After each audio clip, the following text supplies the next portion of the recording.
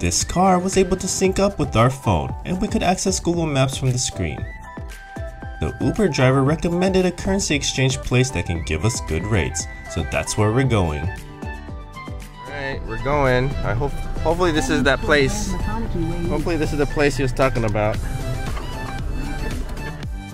With four locations spanning the greater Vancouver area, the Vancouver Bullion and Currency Exchange has established a successful presence in the industry for over three decades. They offer various services including the sale of precious metals, international money transfers, and of course, currency exchange. We're at the Richmond location.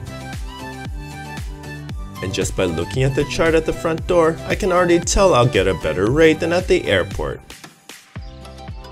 We waited in line for about 10 minutes and we were out the door with some cold hard Canadian cash. I opted to exchange only $100 since I intended to utilize a Costco Anywhere Visa card for most of the trip. For those who didn't know, the Costco Visa card doesn't charge any fees for international purchases. This is the best way to get the most bang for your buck when traveling abroad. The Richmond Vancouver Bullion and Currency Exchange is open from Monday through Friday 9am to 5pm and 10am to 4pm on Saturdays. Canadian money looks like Monopoly money. so colorful. Thank you for watching, and if you enjoyed this video, here's some more suggestions.